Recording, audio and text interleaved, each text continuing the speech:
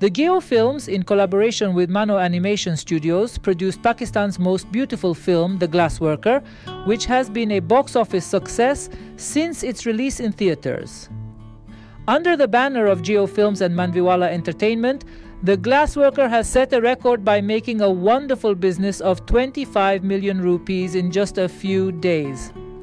The touching story of love in a war torn country is loved by people of all ages.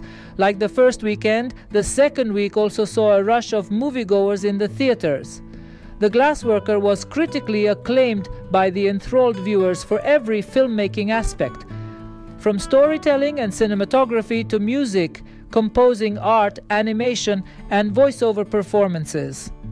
Filmgoers expressed that the handcrafted charm of this dazzling film showcases the immense talent and experience of our young filmmakers. It thoroughly entertained viewers of all ages. Viewers who could not help smiling throughout the movie hailed director Usman Riaz for so bestowing filmgoers with such splendor in the form of the glassworker. Wrapped in love and flames, the touching story of love captures every possible flavor to draw a large audience. Youngsters leaving the theater were unanimous that the filmmakers nailed it, providing a quality and entertaining animated film.